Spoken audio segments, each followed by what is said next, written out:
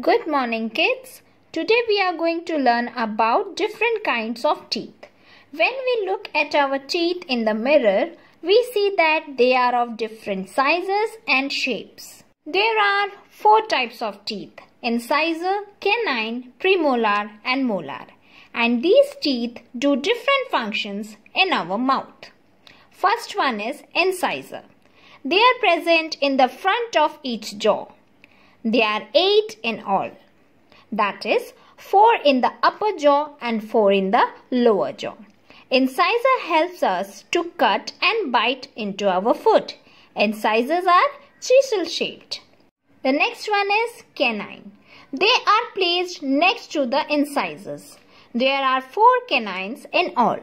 That is, two in the upper jaw and two in the lower jaw. Canines help us to tear the food. Canines are sharp and pointed. Next one is premolars. They are placed next to the canines and are found at the side of the jaw.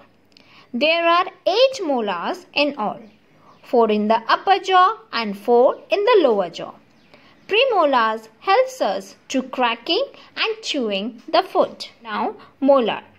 They are placed next to the premolars and are found at the back of the jaw. There are 12 molars in all, 6 in the lower jaw and 6 in the upper jaw.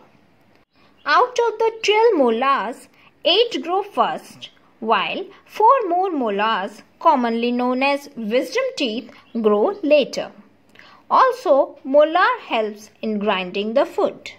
So kids, in this picture you can see 8 incisors in green color. Then you can see 4 canines in red color. And then 8 premolar in yellow color and 12 molar in blue color.